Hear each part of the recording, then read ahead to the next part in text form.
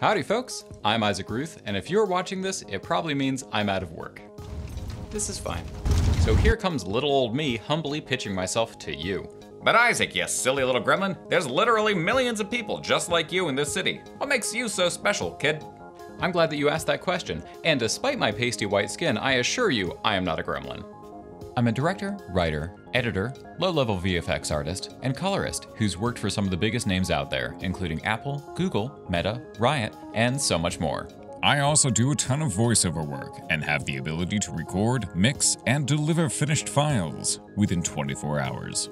I'm best known for my work in the horror genre, with such award winning short horror films as Searchers, The Feeding, After Hours, and most notably Apple's first shot on iPhone short horror film, Those That Follow, as well as a whole bunch of feature scripts.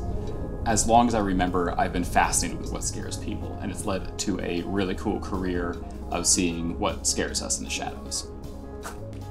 But it's not all doom and gloom. I've done plenty of comedy work, including my own original feature scripts, write ups and punch ups for other people, and a little bit of acting here and there. No laugh track required. I said no. Boo! Come on, guys. Let's all go have sex. Yes! Come on! Since my brain is constantly pumping in an overdose of creativity, which, yes, was an issue in high school, I found it's important not only to invest in my own work, but my own equipment as well. Look at all my stuff! Also, I have a dog. Do something. He normally does stuff. But Isaac, you big dummy, why didn't you just make a reel to show off all your work? Firstly, rude.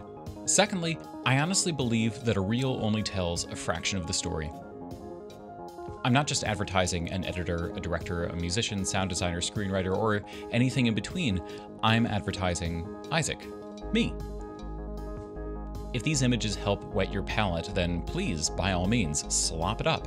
If you're watching this and it's got your juices flowing, your jimmies rustling, your plums, uh, pickin', I don't know, or any other vaguely inappropriate sounding suggestion of creativity and inspiration, then feel free to drop me a line.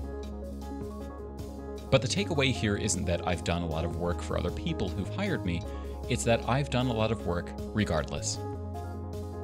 And I'll keep working, creating, dreaming, and being my own weird brand of Isaac no matter what. So, come on, let's get weird together.